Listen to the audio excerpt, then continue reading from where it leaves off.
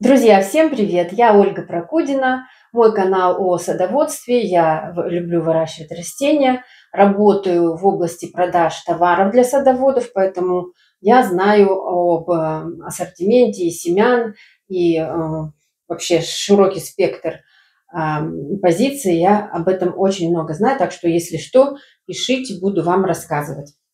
Сегодня я продолжаю пикировку и заодно вам а, решила рассказать о а, профилактике и вообще о борьбе с болезнями на рассаде. Ну, в основном самую распространенную мы возьмем, да, проблему, с которой сталкиваемся. Не будем уж углубляться в вирусные заболевания, которые бывают в более позднем сроке. Ну, на раннем тоже бывает, но это уже совсем плачевный случай. Можно лучше взять и э, уничтожить рассаду. Потому что наши усилия, мы затратим их очень много, но могут а, в большинстве случаев не увенчаться успехом. Сегодня мы поговорим о таком заболевании, в простонародье называется черная ножка. А когда я работала в рознице, а в рознице я в продажах проработала довольно много, я была продавцом-консультантом, начинала с небольшого магазинчика. А, вот была А потом это уже были такие э, первые у нас в городе Барнауле, а, первые, первая сеть супермаркетов самообслуживания. Был такой дом семян, вот я там работала продавцом-консультантом, потом и э, заведующей. Ну и, в общем, э, зачастую приходилось сталкиваться с такой ситуацией. Приходит там покупатель, бабушка или а, женщины, ну, кто угодно, да, приходят и спрашивают, вот вы знаете, у меня падает рассада. А, такое ощущение, что э, кто-то ее высасывает. А, то есть э, рассада утончается у, вот здесь вот у... Сейчас мы возьмем один штучку баклажанчика заодно. Вот здесь у основания начинает э, так темнеть, и э, тоньше, тоньше, тоньше стволик становится, и рассада падает. А, это никто не высасывает нашу рассаду, а это э, грибковое заболевание. Поэтому бороться мы с ним можем. Но лучше всего а, профилактические мероприятия проводить. Как мы можем бороться? Если у нас уже э, какой-то процент начался заболеваемости на растениях.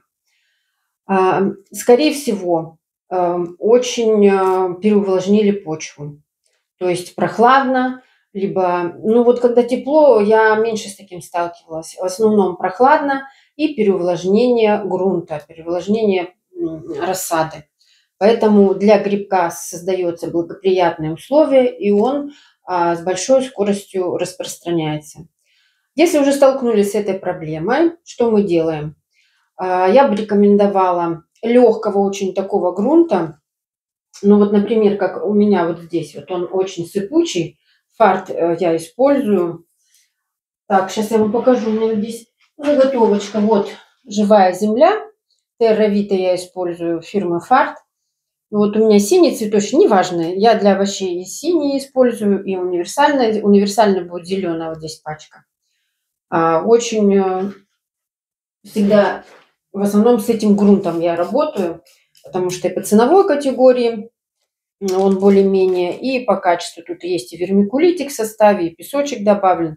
В общем, он очень, э, если его подсушить, он вот такой легкий и сыпучий.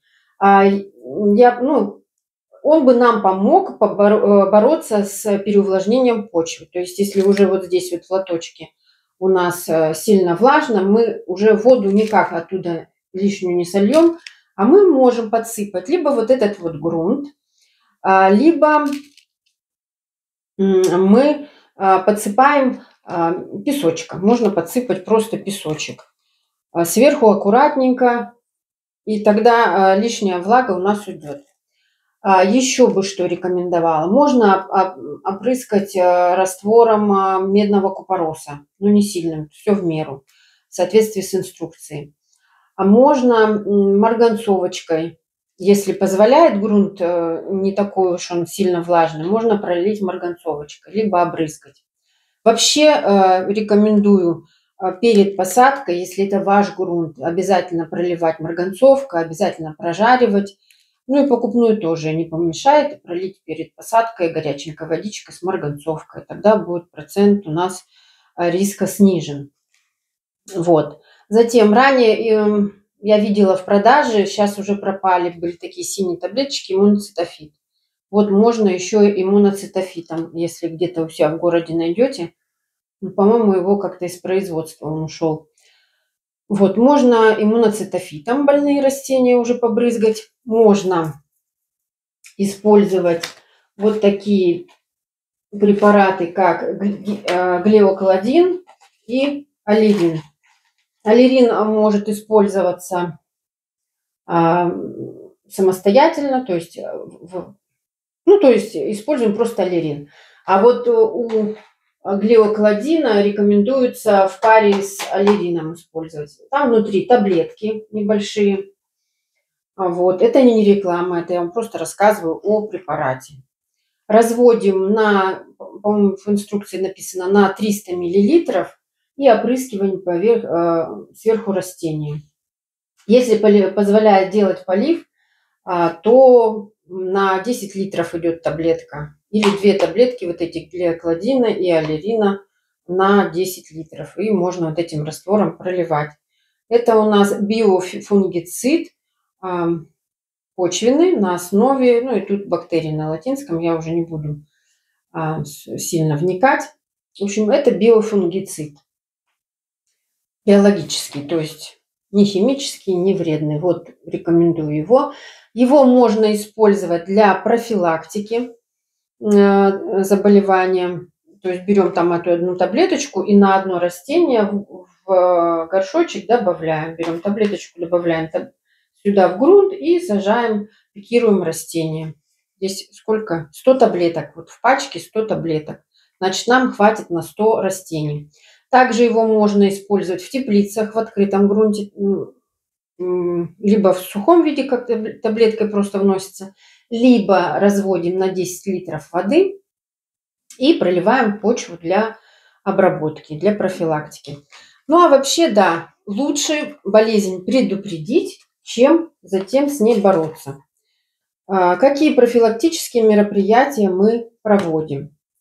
Во-первых, а, пересаживаем. А, грунт у нас должен быть обработанный. А, хороший грунт. Я использую тервита. Если у вас есть желание и возможности, можно взять агробал. Тоже очень хороший. Грунт должен быть воздухопроницаемый. Вот именно тяжелый... О, тут сверлит там начал. Но у меня по просьбам моих друзей я приобрела все-таки микрофон. И надеюсь, сегодня звук намного лучше. Ну, и перфоратор не сильно будет слышно. А, то есть грунт должен быть легкий, воздухопроницаемый. Тогда а, риск будет не такой э, большой, потому что э, такие тяжелые почвы с огорода принесем и туда. Тогда нужно добавить хорошо торфа, песочка, вермикулита, перлита. И тогда вот будет хороший грунт для этого. Для профилактики проливаем марганцовкой, проливаем а, вот такими биофунгицидами. Еще можно а, периодически, вот фитоспорин, довольно популярный препарат, бывает в порошках, бывает в пасте. Вот фитоспорином можно для профилактики периодически проливать. И тогда наши растения не будут болеть. То есть проводим профилактические мероприятия. Но самое главное, а, посадите растения и а, не переувлажняйте, тогда все будет у нас прекрасно, все в меру. Я вот э, в прошлое воскресенье посади, пересадила, распекировала баклажанчики. Это мы с вами делали. И еще до сих пор я не поливала, потому что стоит у меня а, моя рассада на лоджии. Сегодня, сейчас у нас пасмурно, и э, солнце так не нагревает там воздух. Так, что-то я углубила тут. Чересчур. Баклажанчики не будем сильно углублять. А, И там довольно прохладно. Сегодня вышла, там 18 градусов. Поэтому а, я их до сих пор не поливаю, не переувлажняю. Посмотрела, пальцем ткнула, влажно, все. Ну и пока я препараты никакие еще не применяла. Пока все еще так хорошо. Фитоспорином я очень редко пользуюсь. Людям, покупателям нравится, рекомендуем им. Многие э, любят э, с препаратами Башенкома работать. Ну вот как-то я не, не, э, ну, не люблю лишний раз препараты какие-то использовать. А, еще вам хотела сказать. Помните, у меня все, по болезням, наверное, все по основным. А, если там уже вирусные заболевания, пятнистость какая-то проявляется на листочках, то я уже как бы радикальные методы при, применяю, убираю от, от основных растений, чтобы они тоже не заразились. Но такое бывает довольно редко у меня. Очень редко бывает, поэтому я сразу убираю. Всегда можно найти у кого где взять рассаду и уже не связываться и зря свое время, свой ресурс не тратить на это. Вот. Надеюсь, все было а, сейчас понятно, да? По борьбе. И полезно, надеюсь, вам. А, я хотела сказать про мои помидоры, которые у меня не всходили. Никак не могла их вырастить. Вот опять же, это моя ошибка. Агротехнику я не соблюла были вот такие небольшие плошки, и переувлажненный был грунт, и я вот э, никак не могла, два пакета подсеивала. И уже на третьем, думаю, возьму-ка я вот взяла вот такой контейнер, э, слегка увлажнила с пульверизатора, э, посеяла их, и э, сверху подсеяла, э, вот, вот такого рыхлого грунта подсыпала, и больше не поливала. Постояла он у меня, опять же, на этом же подоконнике пару дней.